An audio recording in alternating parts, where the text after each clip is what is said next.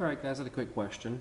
Uh, the question was about finding the derivative of f of x equals sine x over x, and then evaluating that at the value c equals pi over 4. Okay? So essentially what, what that is, is we want to find f of x. So find f of x, excuse me, find f prime of x, and then find f prime of c when c equals pi over 4. So we want to find this thing right there and this thing right there. Okay? So this is a quotient of two functions, so we're going to need to use the quotient rule. So we could say that f prime of x is equal to, okay, quotient rule, you're going to have a big fraction. It's called an obelus, a big fraction bar. So it's the derivative of the first. So the derivative, oh, I said first. Derivative of the top function, so that's sine x, times the bottom function, which is just x, minus the derivative of the bottom function, which is just x, times the top function, which is sine x, over the bottom function squared. Let's see here. The derivative, if we go ahead and take those smaller der derivatives now, the derivative of sine is cosine. So we have cosine x times x. I'll write the x out in front, like so because uh, I, I don't want to accidentally think that there's a cosine of x squared. So I write the x out in front minus, what's the derivative of x? Well, that's just 1. So minus sine x. Okay? Uh, over x squared. So let's double check. Derivative of sine is cosine times x, so x cosine x. The derivative of x is 1, so 1 times sine x is sine x. So that is f prime of x. Now, the second part of the question was to find the uh, derivative evaluated at c, where c is pi over 4. So, what we want to do is evaluate f prime at pi over 4. So let's see. Essentially what, that, what that's doing is that is finding the slope of the tangent line when x equals pi over 4. Recall that c is just a particular x value. We used oftentimes in chapter 2 and in chapter 3 have used c to represent a specific x value. So all we need to do here is um, essentially substitute in pi over 4 for everywhere there is an x in this derivative function. Again, we're just finding, essentially, or we are finding the slope of the tangent line of f at pi over 4. Excuse me. So, everywhere there's an x, turn it into a pi over 4. So pi over 4 times cosine of pi over 4. minus sine of pi over 4 divided by pi over 4 squared. Okay, now let's think about uh, a unit circle here. So we have pi over 4 times cosine of pi over 4. Now think about uh, your unit circle. Remember that you have a unit circle now I'm, I'm going to draw a really terrible you know unit circle. If I could even draw some straight straight lines, we'll, we'll just go with that. Okay, so if we have a, you know, there's the first quadrant of the unit circle, and then pi over 4 is this angle right here, like at 45 degrees, if I could draw it nicely. I will just call it there. Pi over 4. Okay. Now what are the coordinates right there? The coordinates are root 2 over 2 comma root 2 over 2. So, you know, cosine is your x value and sine is your y value, but in this case they're both root 2 over 2. So cosine of pi over 4 is root 2 over 2, and sine of pi over 4 is root 2 over 2. So root 2 over 2. And then on the bottom we have pi over 4 squared. Uh, we could write that certainly as pi squared over 16. Okay. Now let's see here. Um, what I would do, so we have a compound fraction, complex fraction here. What I would do, I think, is um, is try to combine the fractions on the top and then divide by the fraction on the bottom. So let's see here. On the top, we have essentially we, we're going to end up getting, so let's see here, pi square roots of 2 over uh, 8 minus the square root of 2 over 2. Now, let's we want to get a common denominator here. So instead of just writing that as the square root of 2 over 2, I could multiply the top and the bottom by 4 here, and that would give me a, an 8 as a common denominator. So let's go ahead and do that. I'm going to multiply the top and the bottom by 4. That will give me an 8 on the denominator, but that'll put a 4 right there. That way I can go ahead and combine. Okay, so the, I'm not going to do anything to the denominator right now. So we could say we still have a pi squared over 16 on the bottom. Now the numerator though, it just now combines to pi square roots of 2 minus 4 square roots of 2 over 8. Okay. Um, I could factor out a square root of 2 on the top there. There's a lot of algebra in this one. So I could say, uh, let's go ahead and let's go ahead and uh, well, well we can just do this. Let's factor out a square root of two on the on the fraction on the top. So we still have over eight. If we factor out a root two, uh, I would have pi minus four, but I'm still dividing by pi squared pi squared over 16.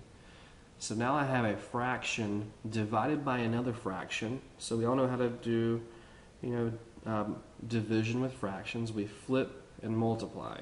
We take the reciprocal of the divisor and multiply. So that's going to give us 16 square roots of 2 times pi minus 4 over 8 sorry, 8 uh, pi squared. Now notice here we have 16 over 8. We could rewrite that as 2 square roots of 2 times pi minus 4 over pi squared. Now, can we do anything else? Mm, I think not. I think that's enough simplification, okay? So let's just recap. That was a lot of simplification. So we started with f prime up here, sine x over x.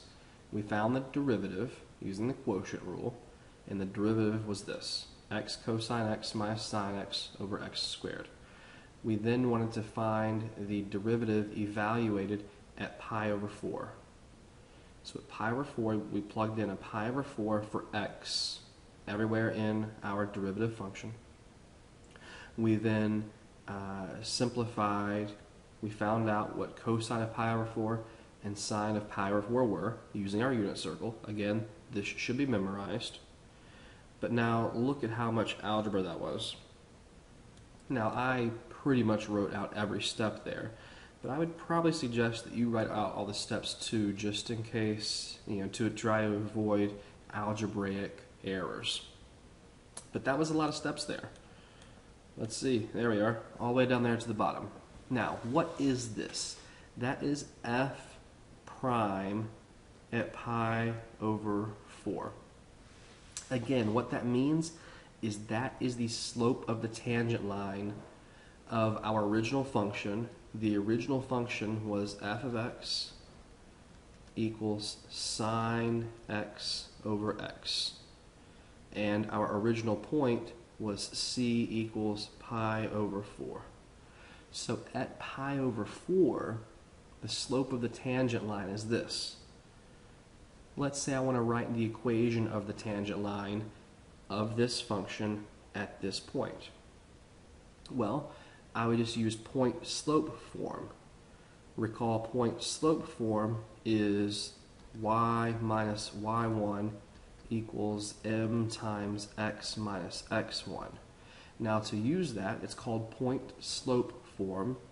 We need a slope, which is right here. Here's my slope. Slope of the tangent line is right there. But I need a point. Now that's an x value, but for my point slope form, I need an x comma y.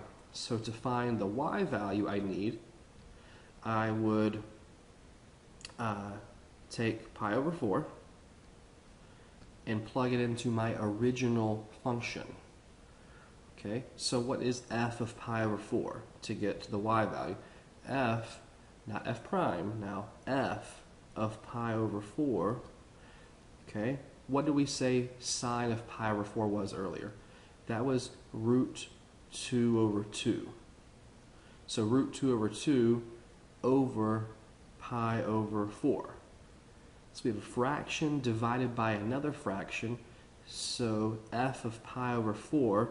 Uh, so we flip the denominator and multiply. Excuse, excuse me, flip the divisor and multiply. So that's 4 square roots of 2 over 2 pi. So there's my corresponding y value. 4 square roots of 2 over 2 pi. Okay, so that's x1 comma y1. So I have a point and I have a slope. I can use point slope form. Now this isn't going to be very pretty, but we will certainly get a equation. So we could say y minus y1, which is 4 square roots of 2 over 2 pi equals m. Oh, I'm going to run out of room here. I'm going to have to uh, scroll over just a little bit. Equals m, which here's our m. It is 2 square roots of 2 times pi minus 4 over pi squared times x minus x1, which is pi over 4. So that is the equation of our tangent line, but let's solve it for y. So we could say y equals, okay, let's distribute, uh, let's distribute the right-hand side, and then we're going to add this to both sides. So we're going to have 2 square roots of 2 times pi minus 4 over pi squared times x minus, okay, uh, we're going to have pi over 4 times this. Okay, so bear with me. Or excuse me, we're, we're going to have negative pi over 4 times this. That's going to give us a pi on the top and pi squared on the bottom. That'll leave us with just one pi on the bottom, pi to the first power. So we're going to have just a pi on the bottom, and then we have a 4, excuse me, uh, not, we're not going to just have a, a, a, pi, because we have a 4 on the bottom here, but we have a 2, so we're going to be left with 2 pi on the bottom. Again, I'm just multiplying and trying to reduce the same step. Hopefully I don't make a mistake here. So we have a 2 on the bottom and a pi on the bottom. Otherwise, we're going to have a root 2 times pi minus 4. Let me double check real fast. We'll have a 2, we'll have a pi. Yeah, that should be good. So I just distributed, I just multiplied this, and I multiplied this, just using the distributive property. But let's not forget about, we need to add that to both sides. So plus uh, 4 square roots of 2 over 2 pi. Look at that, I have a common denominator.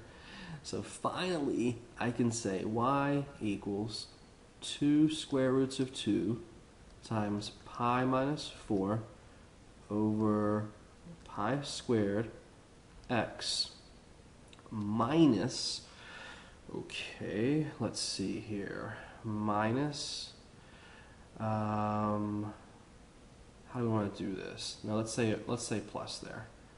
Let's say plus there, and we're going to have 2 pi on the bottom, and then we're going to have uh, 4 square roots of 2 minus the square root of 2 times pi minus 4. Okay, I think that does it for us because if we broke the fraction apart, we would have 4 square roots of 2 over 2 pi minus the square root of 2 times pi minus 4 over 2 pi. So that works.